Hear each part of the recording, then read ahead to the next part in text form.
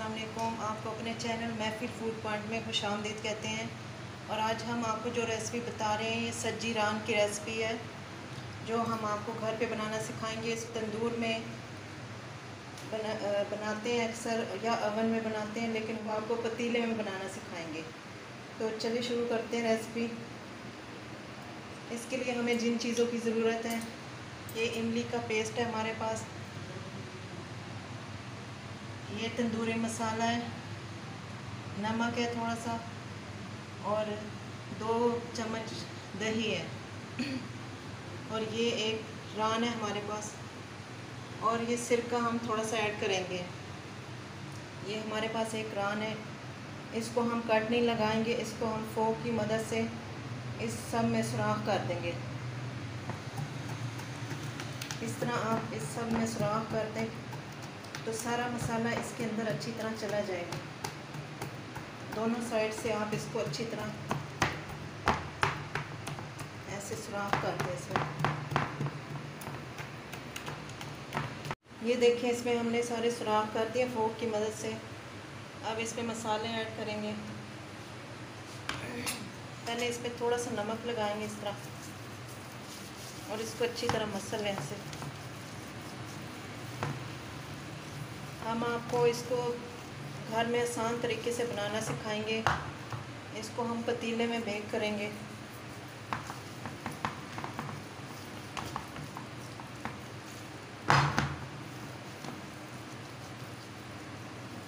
अब ये सारे मसाले मिक्स करके इसमें ऐड करेंगे। ये तकरीबन दो बड़े खाने के चम्मच तंदूरी मसाला। ये इमली का पेस्ट है। इसको छान लें क्योंकि इसमें गुठलियाँ बहुत ज़्यादा होती हैं, वो अच्छी नहीं लगती फिर। ये तकरीबन दो चम्मच हमने ये भी ऐड किया इसमें। और ये दो चम्मच दही है।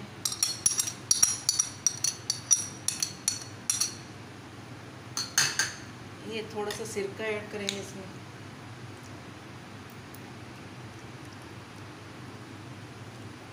ये भी तकरीबन दो चम्मच हमने ऐड किया इस सबको अच्छी तरह मिक्स कर लें मसालों को।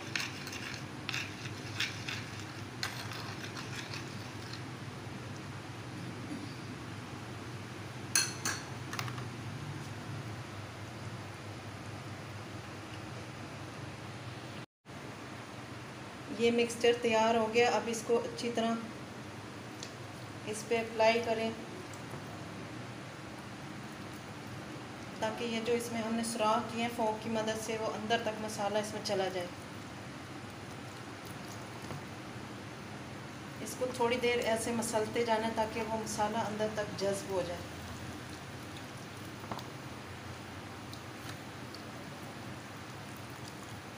चारों तरफ़ अच्छी तरह ये मसाला आप लगा दें। और इसको ओवरनाइट रखना है अपने फ्रिज में। ताकि अच्छी तरह इसमें जायका चला जाए मसालों का, फिर आप सुबह को इसको पतीले में बेक करें।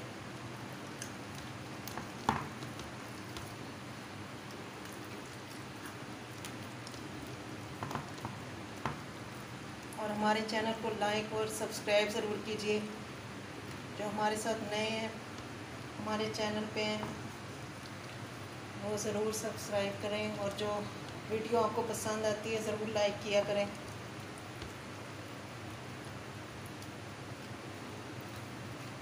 सारा मसाला इस पर लगा दें।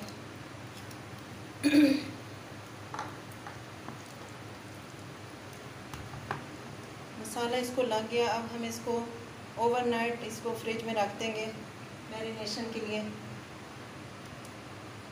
आप इसी तरह कीजिएगा तो ये फिर अच्छी तरह अंदर तक गल भी जाएगी और मसाले इसमें जज़ब हो जाएँगे अच्छी तरह। ये रान हमने ओवरनाइट मैरिनेशन के लिए रखी हुई थी। अब हम इसको बनाते हैं, ये देखें। ये एक बड़ा पतीला है, इसमें ये बड़े स्टोन है, जो आप गरम कर लें इसको पतीले को। जब ये अच्छी तरह गरम हो जाएगा तो इसके अंदर रख लें इसको। और हल्की आँच पे तीन चार घंटे छोड़ दें, इसमें ये स्टीम में पक जाएगा। अब इसको बनाना शुरू करते हैं। ये हमारे पास फॉइल है।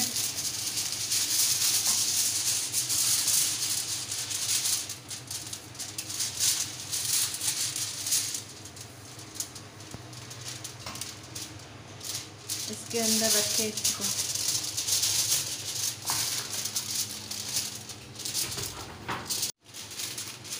ये हमने इसको फॉइल में रख दिया। अब इसी के बराबर दूसरे पीस काटेंगे इससे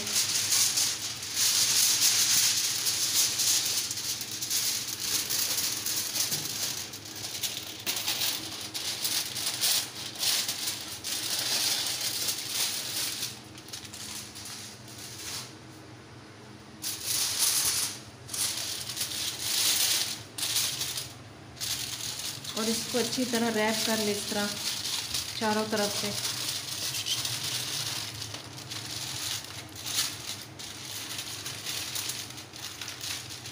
चारों तरफ़ से इसको बाँध कर ले इस तरह।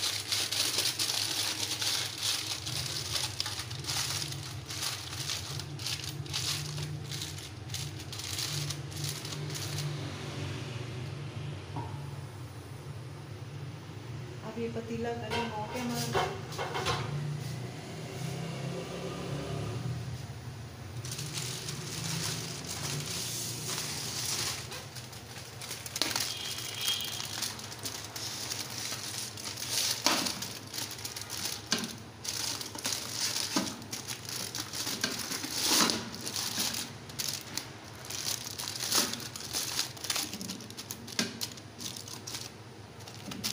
ऐसे इसको कवर करके रखते हैं चारों तरफ़ से, तीन चार घंटे के लिए।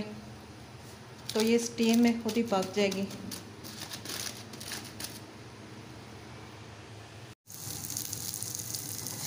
अब वो हमारी रान रोस्ट हो रही है उधर पतीले में। और हम उसकी गार्निश के लिए ड्राई फ्रूट है हमारे पास। मूंगफली थोड़ी सी किशमिश है, बादाम है, इसे थोड़े से घी में फ्राई कर लें आप। ये हम उसकी गार्निश तैयार कर रहे हैं। और तीन चार घंटे हो गए उसे। हमने दम पे रखा हुआ था रान को। अब वो तकरीबन पक गई होगी। अभी हम खोल के देखते हैं उसे। ये देखिए, हमारी रान स्टीम हो गई है पतीले में। और ये पक गई अब हम इसको खोल के देखते हैं। ये देखिए, बहुत अच्छी तरह ये गल गई है।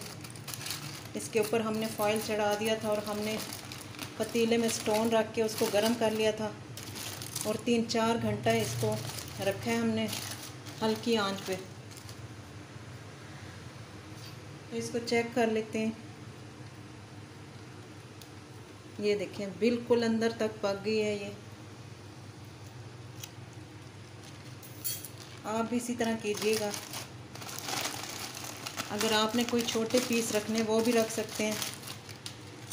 चिकन के या बीफ के, जो भी आप रखना चाहें। अब हम इसको गार्निश करेंगे। ये हमारे पास रोस्ट हुआ हुआ है। बादाम है, किशमिश है, मूँगफली है। ये इसके ऊपर डाल दें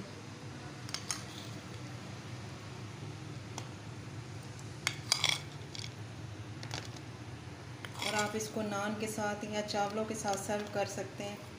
या आप घर की रोटी के साथ इसको खाएँ, बहुत आपको मज़ा आएगा।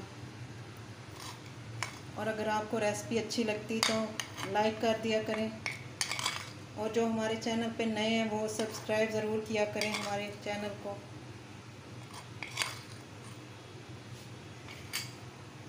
ये हमारी सज्जी रान तैयार हो गई है।